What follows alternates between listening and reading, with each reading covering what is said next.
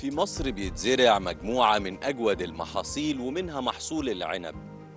بيتزرع أنواع مختلفة من العنب المصري وبسبب جودته العالية بتستورده دول كتيرة جدا في أوروبا وآسيا. وإحنا النهاردة موجودين في واحدة من مزارع العنب اللي بتصدر محصولها للخارج عشان نعرف آلية الزراعة والرعاية والحصاد وصولا إلى التصدير.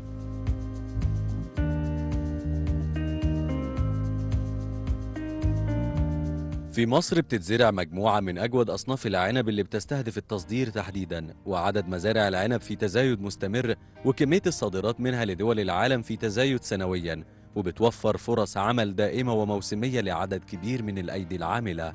المرحلة اللي إحنا فيها دي مرحلة الحصاد ودي آخر مراحله بعد منها بيجي اللي هو مرحلة التعبئة للخارج للتصدير.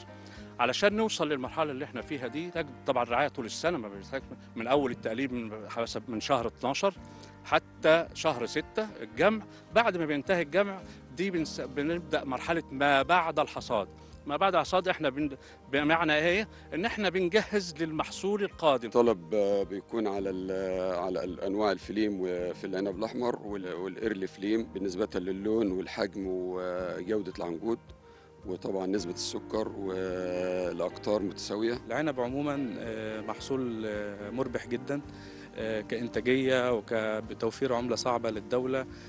من خلال إن آه، إحنا بنشتغل بعمليات فنية آه، تتناسب مع السوق الأوروبي وتتناسب مع السوق المحلي. طبعا بتوفر برضو فرص عمل لناس كتير آه، في الحصاد وفي العمليات اللي بتتم في العنب. طبعا عمليات كتير جدا. بعد حصاد العنب بيتم عمل مجموعة من العمليات للتأكد من جودة العناقيد قبل تغليفها ووزنها وتجهيزها للتصدير. بعد عمليات الحصاد بيتم آه، بتدخل العنب على تبريد أولي وبعد كده في بنات آه، بتنظف آه، العنب. لو في أي حاجة حبايه مفتوحة ولا أي حاجة وبتحط العنب في علب آه، بانت وبعد كده بتعبى في آه، كرتونة.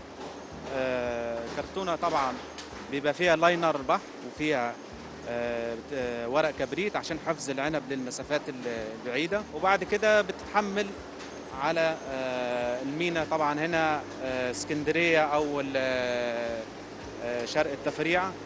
على حسب الدولة اللي هي رايحة لها يعني. إحنا بنودي آه، يعتبر 80% في العنب انجلترا والباقي بنودي هولندا بنودي ال Far East بنودي سنغافورة. تصدير العنب بيستهدف أسواق متنوعة في مختلف دول العالم وسجلت صادرات العنب في العام الماضي 140 ألف طن بقيمة بلغت 252 مليون دولار وهو اللي بيساهم في توفير العملة الصعبة ودعم الاقتصاد المصري بأيدي أبنائه.